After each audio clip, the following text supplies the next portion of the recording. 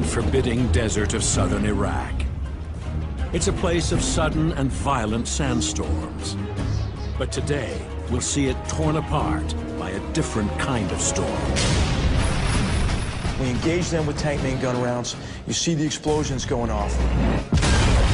I dropped down inside. I looked through my commander's sight. I was vitally impressed with the enemy. The U.S. 2nd Armored Cavalry is on a collision course with the Tawakalna Division of Iraq's Republican Guard. They see themselves being great warriors who are expected to stand and fight and even die so that others may live. Two tank armies clash on a remote strip of desert. This is the Battle of 73 Easting, armored warfare at its most intense. This probably was the last great tank battle of the 20th century.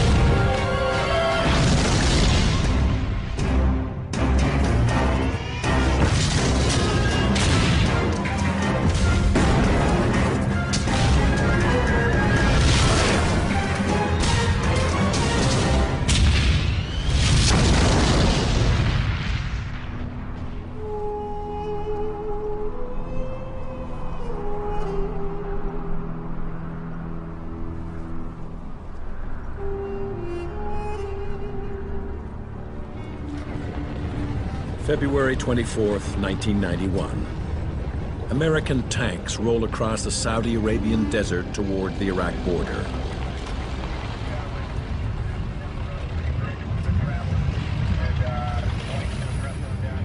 They're part of a multinational force with a clear and simple mission. To drive Saddam Hussein's Iraqi army out of Kuwait. Coming out of the Iran-Iraq War, Saddam has two problems. He has a great big military with nothing really for it to do. The other problem he has is that he has devastated Iraq's economy as a result of the Iran-Iraq War. And so when you're Saddam Hussein and you need money, when you need it, you do what comes natural. You rob the piggy bank next door. And in this case, that piggy bank was Kuwait. Iraqi armor and infantry overrun the oil-rich emirate in just 36 hours. Saddam ignores the United Nations demand for an immediate withdrawal. And the UN sends an American-led coalition of 620,000 to show him they mean business.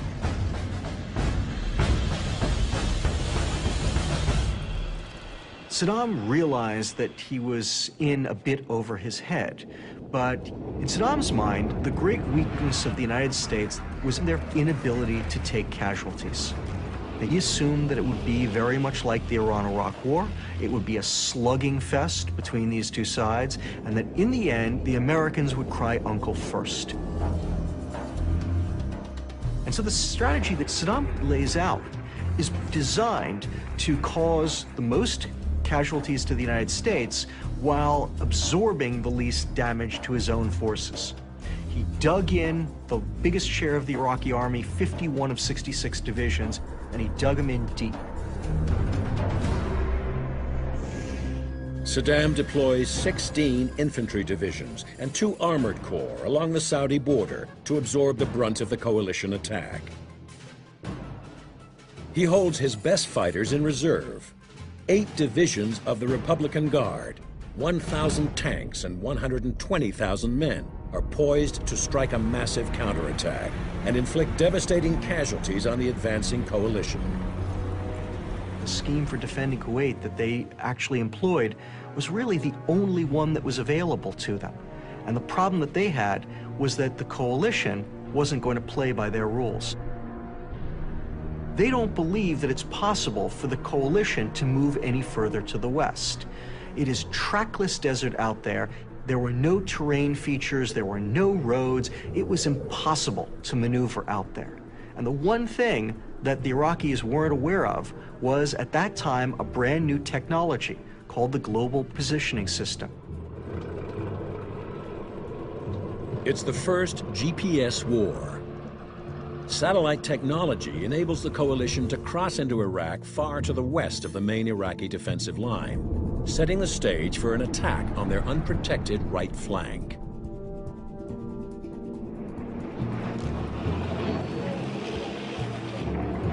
At 1300 hours, the U.S. 7th Corps breaches the sand berm, marking the border between Iraq and Saudi Arabia. We had a, a PSYOPs platoon uh, with us with these 25,000 watt speakers on top of the Humvees. They were there to broadcast surrender appeals, but I had them play Ride of the Valkyries as we were crossing over the berm into Iraq.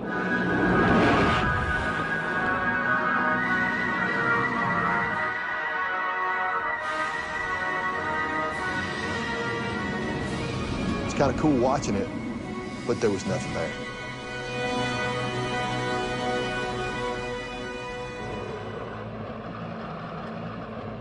Our unit was moving, moving to the north and to the east, and, and really not hitting a whole lot. I mean, yeah, we did. Uh, we had some reconnaissance units we ran into, but after a couple of shots at us, they would give up.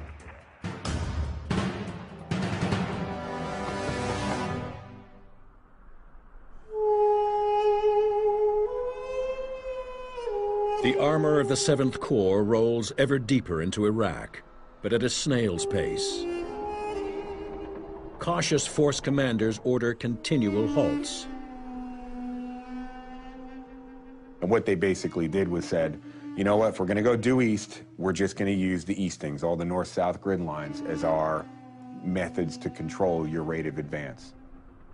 It was almost like we were crawling. It was, it was not a fast lightning strike. It was very slow. Okay, we'd, we'd move a few clicks and then stop us.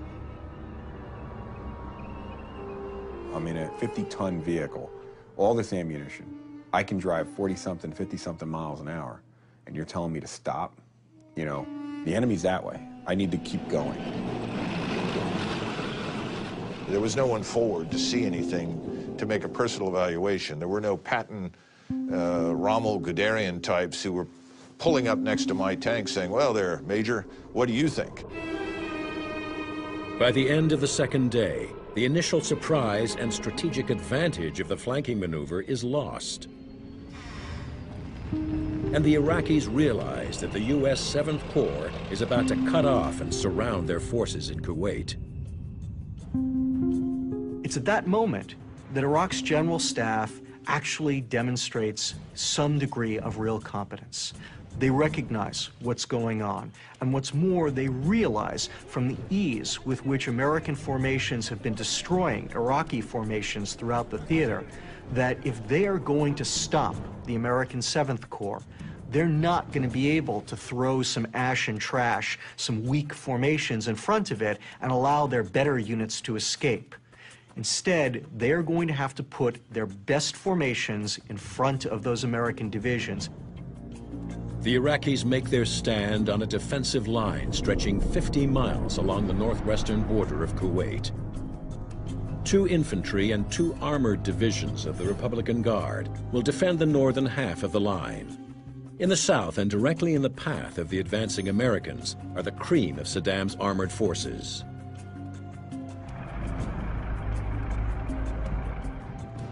And they saw themselves as Republican Guards as being the best of the best.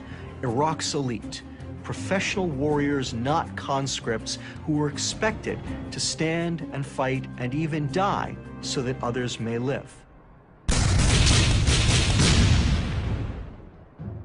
We respected them. We, we knew that they were capable of, of some serious destruction, and we knew there were a lot of them. They got tons and tons of equipment. We respected that. We were real worried about their, their armored vehicles. And of course, our biggest fear was the T-72 tank. The Iraqi version of the T-72, known as the Lion of Babylon, is the backbone of the Iraqi Armored Corps. Its 5-inch main gun can destroy targets over 2,000 yards away. It's a 41-ton monster, plated with armor that is in places a foot thick. Still, it can reach a speed of 42 miles per hour. This makes the T-72 one of the fastest and most lethal heavy tanks in the world. And Saddam has more than 1,000 of them deployed along the Republican Guard's defensive line. They're supported by hundreds of armored vehicles, including the Soviet-designed BMP. The Republican Guard seems ready to take on all comers. Heading straight for them is the U.S.-led 7th Corps, with hundreds of M2 Bradley fighting vehicles and well over 1,000 tanks. The most powerful of these is the M1A1 Abrams main battle tank. The Abrams is armed with a 5-inch high-velocity cannon and protected by composite armor that's as tough as 24 inches of pure steel. It's one and a half times heavier than the T-72, but just as fast, making it the most powerful tank on the battlefield.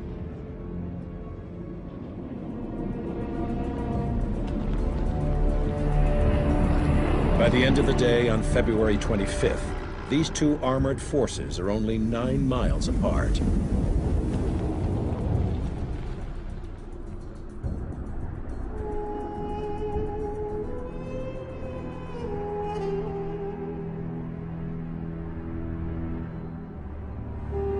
morning of the 26th, very early, uh, perhaps uh, 4.30, 5 o'clock, I can't remember precisely, we suddenly get uh, a change of orders and uh, essentially find and destroy the Republican Guard for all intents and purposes.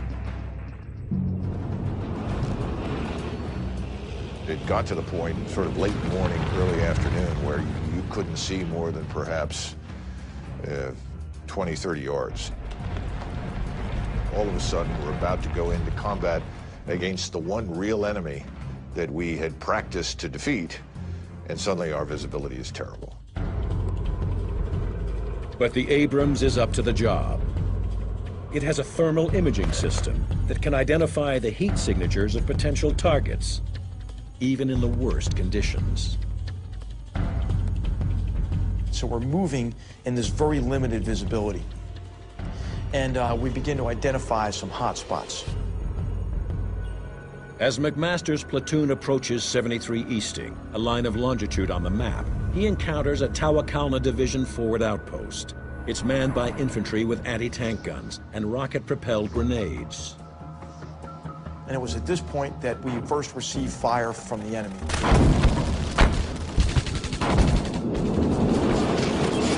What we had to realize is we were paralleling a road that ran due east right into the enemy's position. The Battle of 73 Easting, the last great tank battle of the 20th century, is about to begin.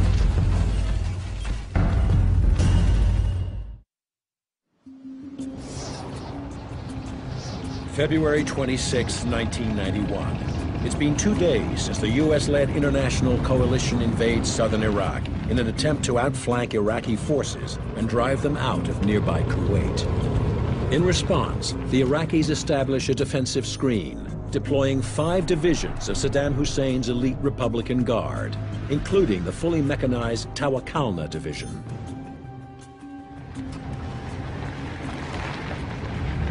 Just west of the map reference 73 Easting, the U.S. 2nd Armored Cavalry, the spearhead of the coalition advance, makes contact with the Republican Guard. And it was at this point we first received fire from, from the enemy. I then pull up our, our nine tanks online, all of us oriented on this village. I give this troop fire command. Village, direct front, frontal, one round heat at my command ready report, which means everybody load a heat round, look at that village, pick out your aim points uh, on, on the enemy positions, and when they're ready, we're gonna fire nine simultaneous main gun rounds at the center. I fire one round before that to mark center with a tank heat round. Green says ready, white says ready. I say fire, nine tank main gun rounds impact simultaneously.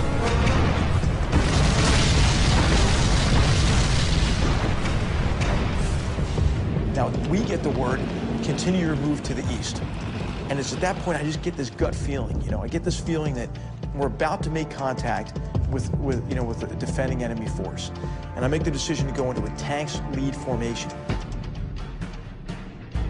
That means positioning the Abrams tanks in a rolling wedge with the more vulnerable Bradley fighting vehicles tucked in behind for protection.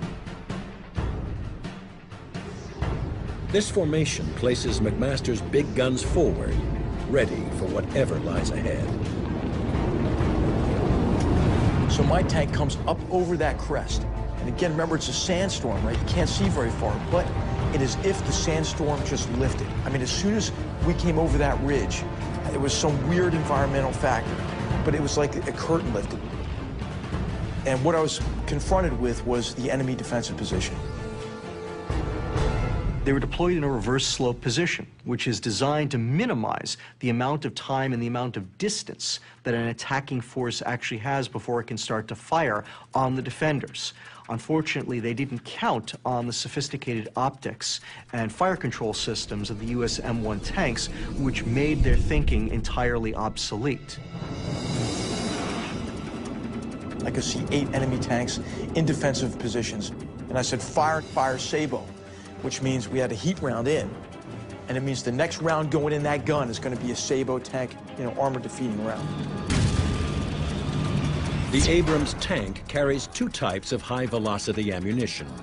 The Sabot, an armor-piercing dart made with high-density depleted uranium. And the high-explosive anti-tank round, a shaped charge projectile which can bore through heavy armor. We engaged that first tank with a heat round. That fireball blows the tank commander out of that tank. And then ultimately there's a secondary explosion that blows the turret off that tank. My gunner traverses left, hits with another tank.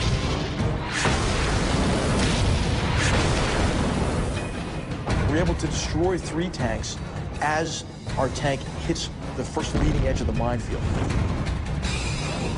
I looked to the right and I saw what looked like explosions to the left uh, front of uh, McMaster's tank.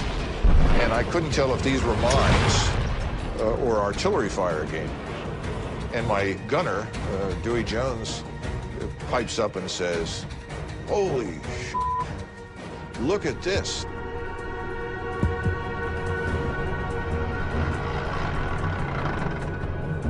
And I dropped down inside. I looked through my commander's sight, and I said, oh, yeah. Uh, I was finally impressed with the enemy.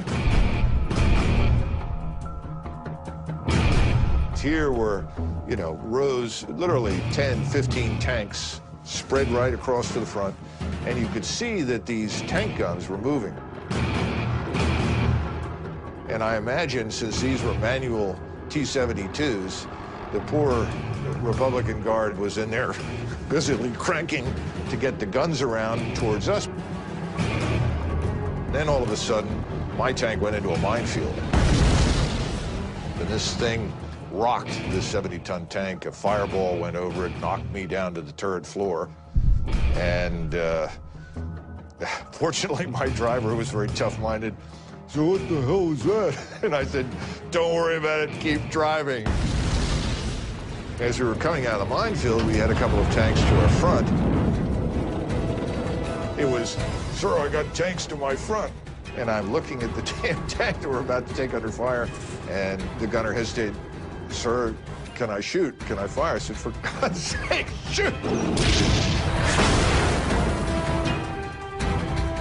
We swung to the next one and fired. And in the meantime, I could see that Eagle Troop was taking uh, enormous numbers of vehicles under fire.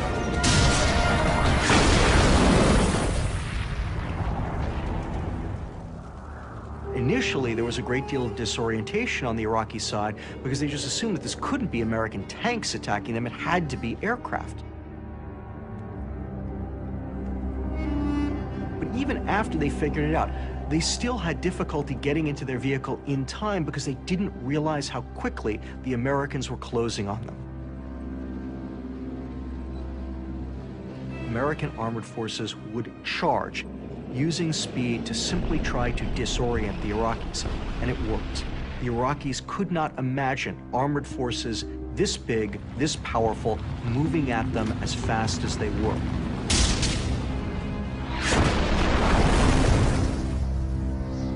It's a tactic developed by General Erwin Rommel, the great World War II German tank commander. And the M1A1 Abrams is ideally suited for this kind of warfare. The gun stays right on target. It has a geostabilized system, and um, I mean, you could you can be moving out at you know 40, 50 kilometers an hour, going over bumps and firing.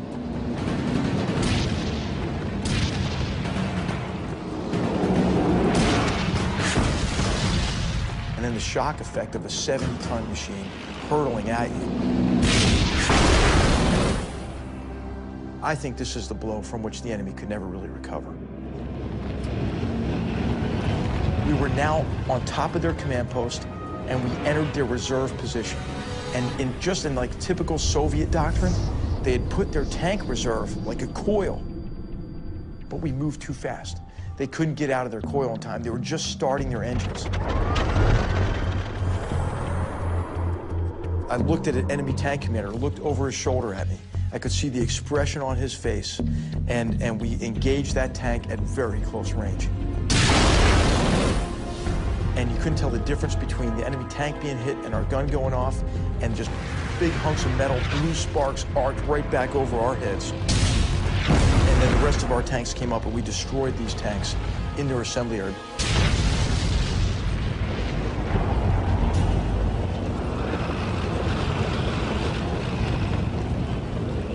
Iraqis, you know, had set up a pretty sound defense. I mean, it was a reverse slope defense.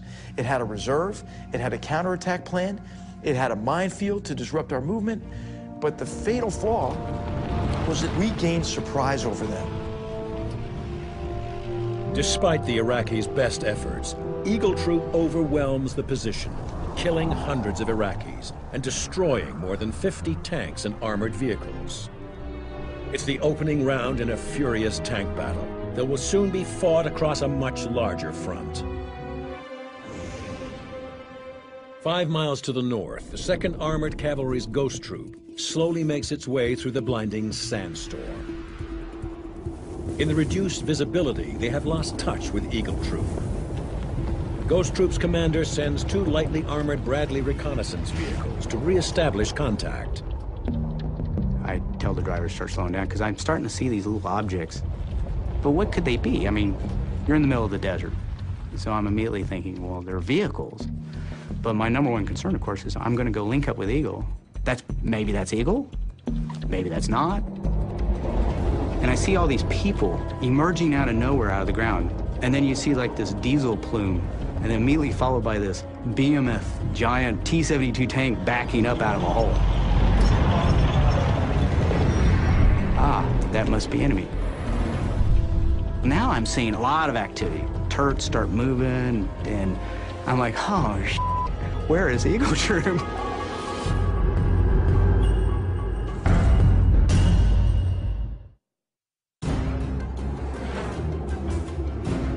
February 26, 1991, 1600 hours.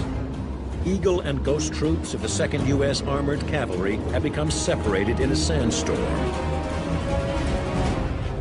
Two Bradley fighting vehicles from Ghost Troop have been dispatched to re-establish visual contact between the two tank units. But they run into a platoon of Iraqi T-72 tanks. So I tell the driver to pull up to this little mound. And as soon as he comes to a stop, um, he says, tank front. Roger, got it, thanks. And uh, he goes, no, no, there's a tank to our immediate front. Because I see it. No, no, you don't understand. There's a tank to our front. And I just get up, push myself out of that turret, and I look down, I go, I'll be damned. Well, what happened is I didn't realize the little mound of dirt that I told him to pull up from was a T-72. I just grabbed the uh, commander's override, max deflect the 25 millimeter cannon. And then I said, you know, we're scouts. We don't go toe-to-toe with tanks. We need to back up a little. Well, now I'm seeing all these, tanks, a lot of activity. When the turrets start moving, and I'm like, oh, shit, where is Eagle Troop? So I'm backing up, I'm backing up. What, where am I gonna go to?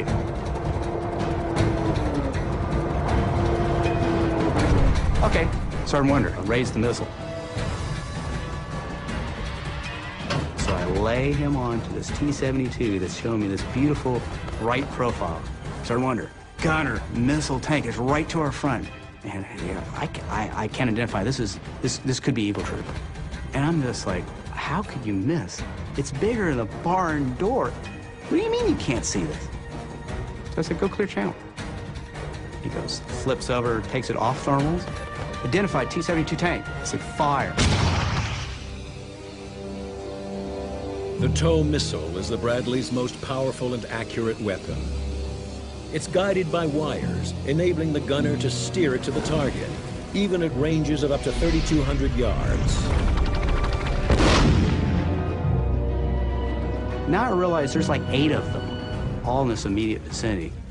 At this time, I'm thinking, okay, these guys all know that I'm here, and they're probably a little pissed off about it. So I go gunner, missile tank, is identified, and I say, fire. And I see this missile come out from the launcher, go just past my gun tube, fall to the desert floor. I'm like, hmm, mm-hmm, mm-hmm. Um, uh, misfire, misfire. At that time, my wingman opens up a missile, blows the heck out of this thing that was turning its turret on me.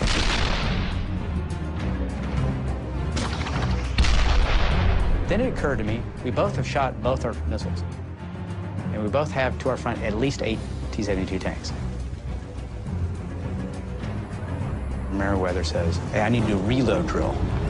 So I said, roger that, we got you covered. And I told Sergeant Wonder, all right, whatever we do, we're gonna keep firing and firing until we can't fire no more. And he starts firing 25 millimeter cannon into this thing. And it's bouncing off the turret. I had my gunner, he's like, sir, it's bouncing off, it's bouncing off. You know, we're just pissing it off. And my intent was, look, better us than my wingman who's standing there, you know, basically naked. I'm thinking, well, I wonder how long it's gonna take that gunner and commander to shoot me while I'm sitting there pinking it with a 25 millimeter cannon.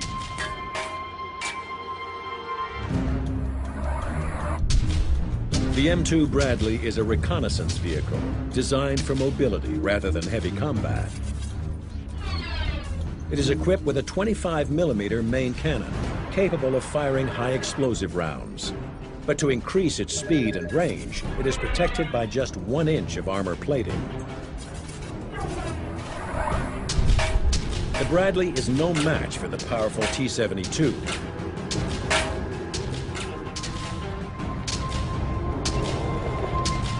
Then at that time, my wingman reported up. Almost instantaneously, he serviced that tank with a missile. Probably saved my life.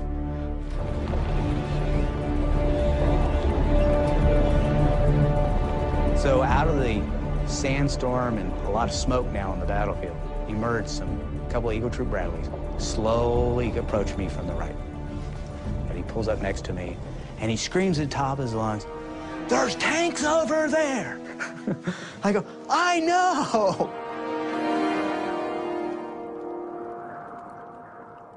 In just minutes, Haynes and his wingman destroy no fewer than five T-72s. But this is just one strong point in an Iraqi defensive line stretching across a 50-mile front that is in places six miles deep. To the north, Ghost Troop continues through the sandstorm. Unaware they are moments away from contact with the main line of Iraqi defense. We're slowly moving forward, and when, I'm, when I mean slowly, I mean about as fast as a man can walk. And when you're in a tank, you've got track pads. We were going slow enough where you could actually feel the individual track pads hitting the ground. We get a uh, little bit, little bit of a, uh, a wind shift, and we can see something out in front of us. We saw heads pop out, and we think what it was. They were in a bunker, and they felt the movement of the armored vehicle.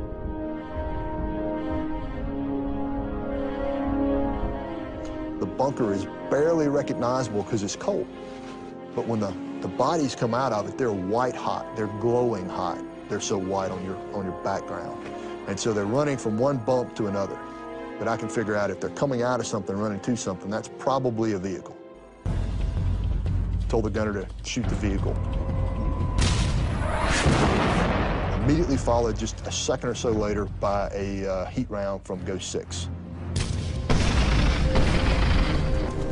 So we shot it, and this thing exploded. And the next thing I know, you know, um, my other tank platoons have seen similar things to what I was seeing, and they started engaging.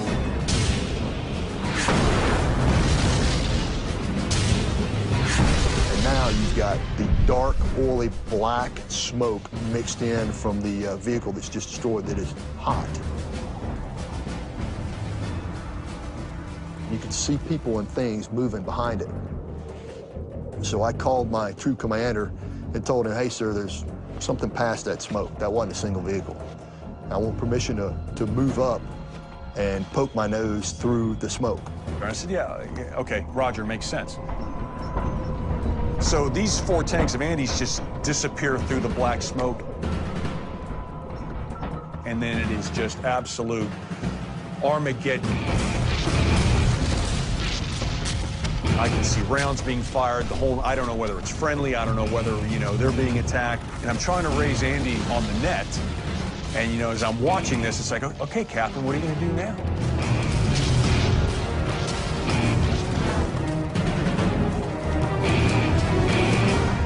Get more greatest tank battles at military.discovery.com.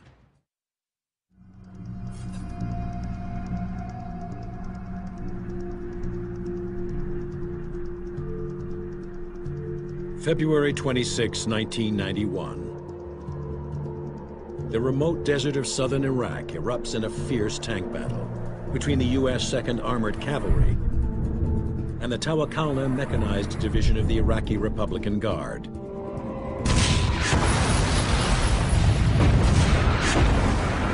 Captain H.R. McMaster the men of Eagle Troop have destroyed an entire company of Iraqi T-72 tanks.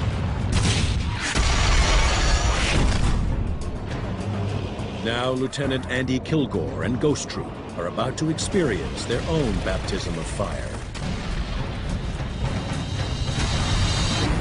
At that time, 7th Corps was four M1 Abram tanks. There was 110,000 soldiers behind me. There was nobody in front of me.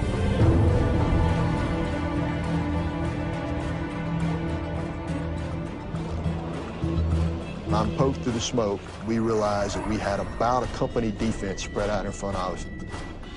He was in them. He was in their assembly area. I mean, he was in and amongst these guys.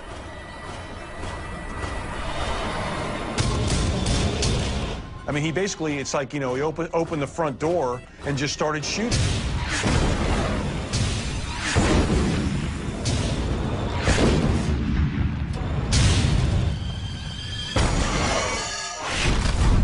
T-72 is a pretty good tank for when it is developed, but it's very much outclassed by the M1 Abrams tank, which is its superior in every imaginable category.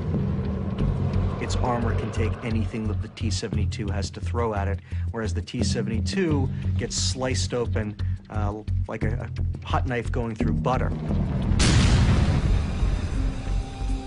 The Soviets had a different theory on storage of ammo than the Americans. They've got the ammo basically stored around their hull. So if you make the ammo explode on a T-72 or any Russian tank, all that explosive force is funneled up through the turret.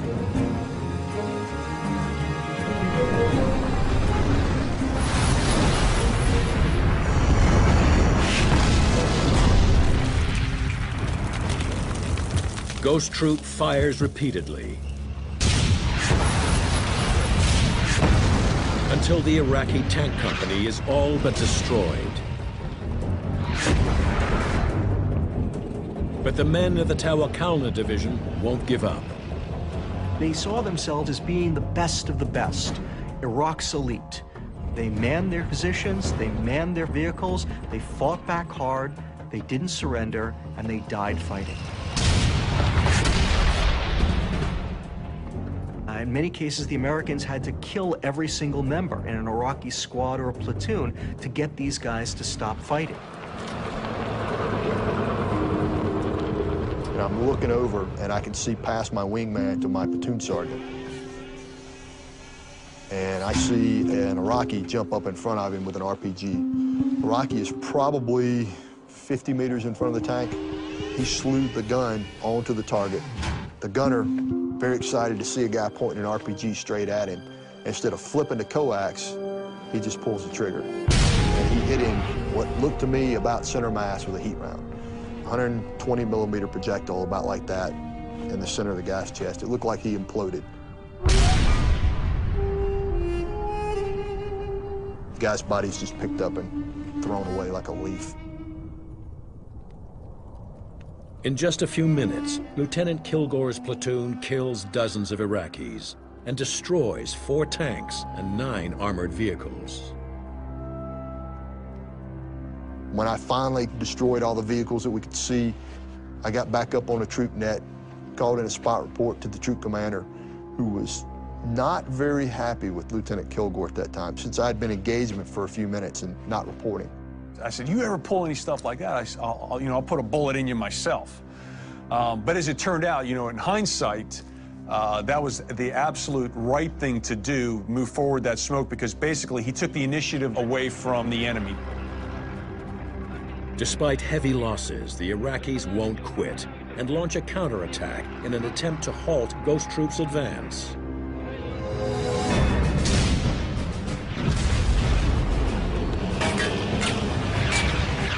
We got to the point where we were on 73 Easting where we started engaging. We're moving, and I'm, I'm so intent on what's going on. I'm in the moment, and all of a sudden, I get thrown to the ground. I get thrown to the turret of my vehicle, and I'm like, what the hell just happened? And what I look at, I look up at my gunner, and he's yelling at me, and I can't hear him because I have the headset on. And, and I finally get him on the intercom. Why did you do that?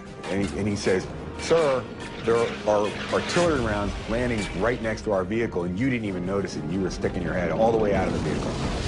He said, you didn't see those rounds? I said, I had no idea that was happening. Because I was so focused on what was happening on the radio, what was going on with all the other units. That's how intense it is. You're just, just go, go, go.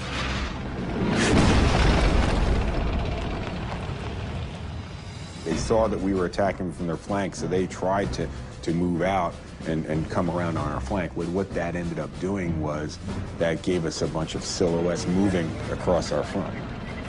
And the crazy things that when we go to gunnery, we practice with moving targets that look just like that. When that occurred, what I did is I scrambled two tanks, give them to the scout platoon, and the scout platoon would give two, two Bradleys and give it to the tank platoon. By scrambling Bradleys and Abrams tanks in combined fighting units, Sartiano creates a lethal see and shoot combination. The Bradleys, with their superior targeting systems, pinpoint targets for the tanks, which then open fire with their high-velocity 5-inch guns, able to unleash a deadly accurate round every four seconds.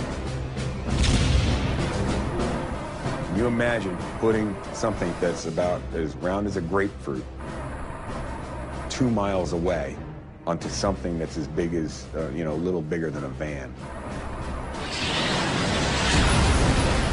I, that, that's unbelievable.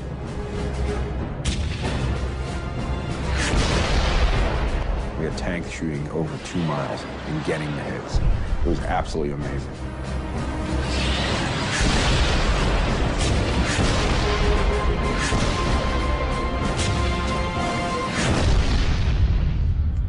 Of a sudden, I remember it was Jeff Garwick said, Sergeant Mulder has been hit. And all of a sudden, the whole troop net just went silent.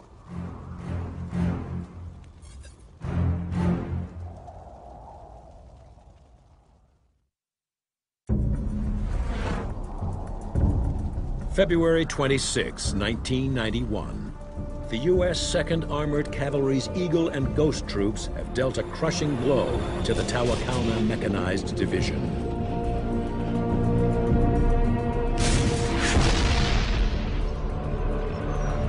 But just as it seems they will emerge from the battle unscathed, one of Ghost Troop's Bradley fighting vehicles takes a direct hit.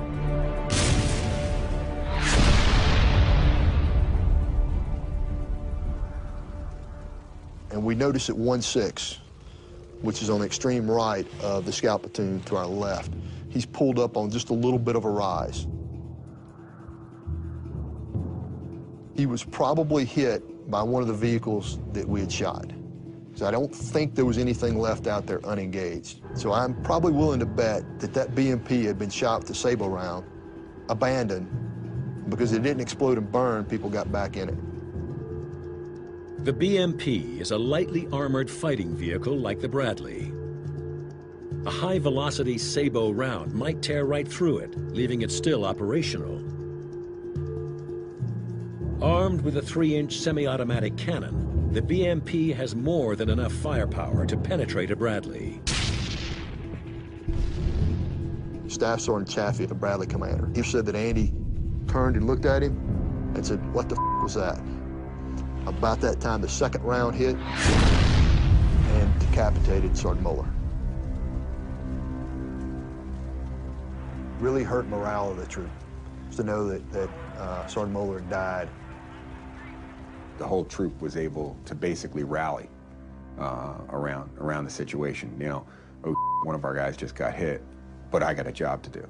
This fight is not over. You're in the middle of it. You can't worry about this guy. You got to keep going.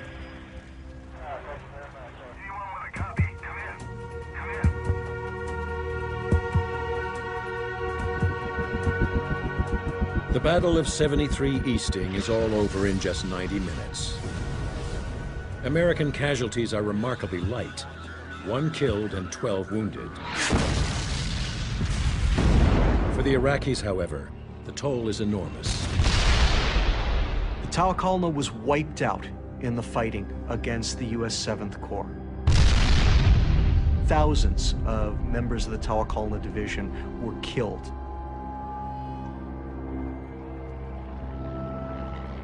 They started out the battle with about 200 tanks and barely two dozen were able to pull back off of it later on.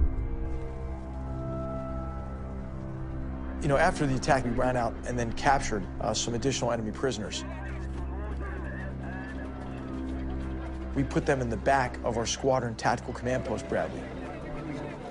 And as they closed the turret shield door, there was a picture of Erwin Rommel who, you know, we had admired and, and sort of patterned ourselves after in terms of his tactics. So this uh, brigade commander says in perfect English, you know, why do you have a picture of your World War II adversary in your, in your Bradley? And one of our privates in the back of the Bradley said, listen, why don't you just shut the hell up? If you'd read a little bit more about Rommel, you wouldn't be sitting in the back of my track.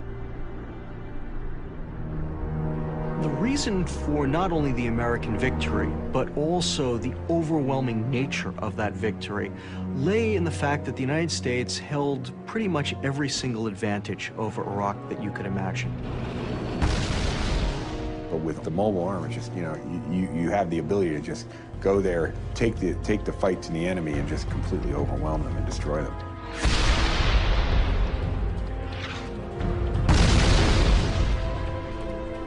This probably was the last great tank battle of the 20th century.